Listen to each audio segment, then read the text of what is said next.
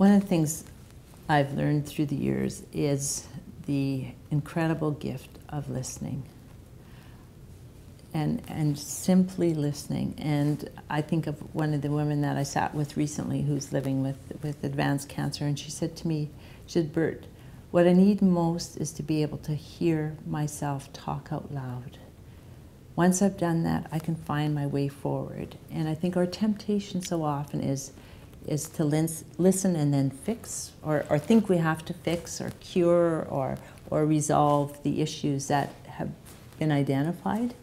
And, and just time and time again, people remind me of the gift of listening. People tell me time and time again to have that space where they feel safe, where they're not being judged, where, where they can bring whatever they're carrying deep within. And it might be fears, it might be anxieties, it's worries, hopes, and, and simply have that opportunity to say those things out loud is what they most need.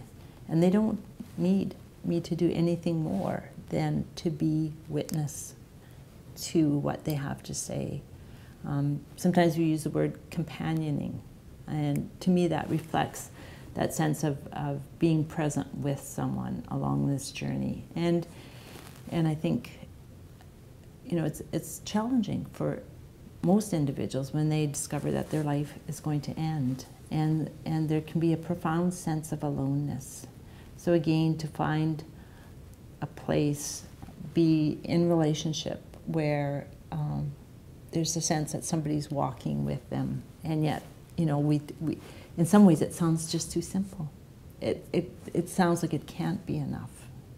And yet people remind me time and time again it is enough.